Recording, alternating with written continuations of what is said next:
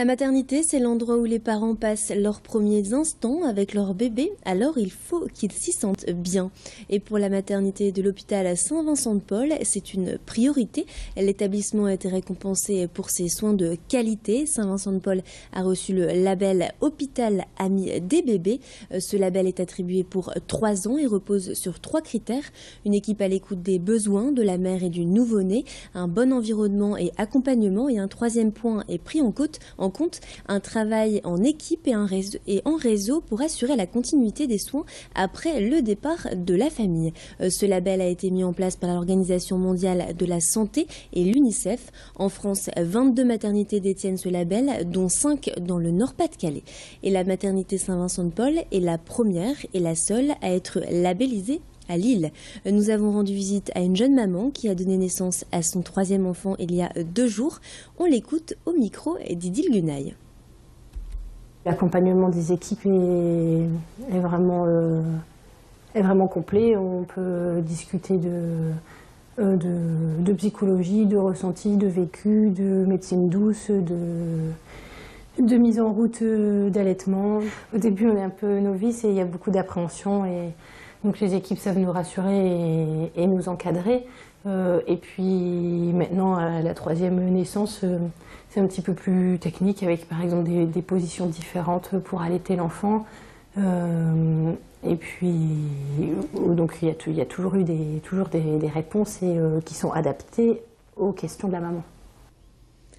Et on écoute une sage-femme de la maternité, de la maternité on essaye de ne pas séparer euh, la maman et le bébé et le papa aussi d'intégrer le plus possible les parents aux soins, et notamment en césarienne, euh, à partir du moment où la maman et le bébé vont bien.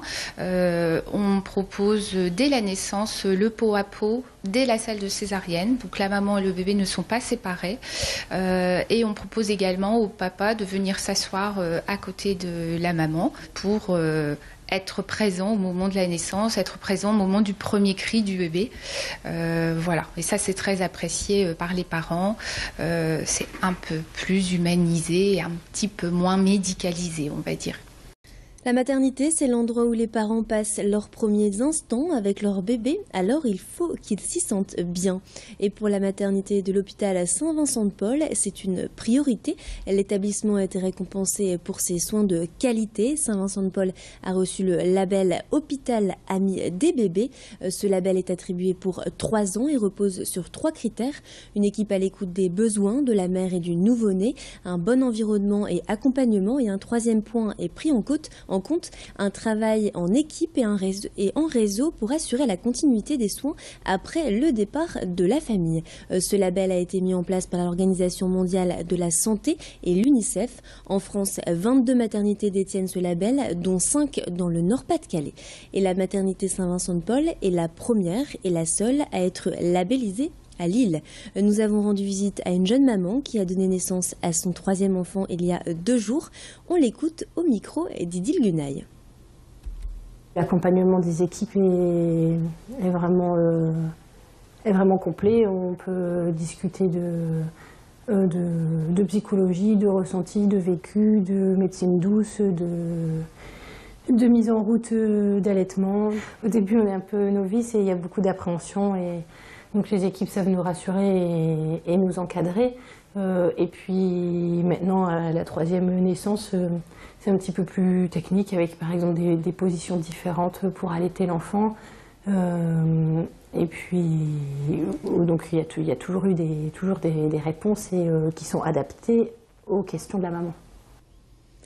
On écoute une sage-femme de la maternité, de la, de la maternité. On essaye de ne pas séparer euh, la maman et le bébé et le papa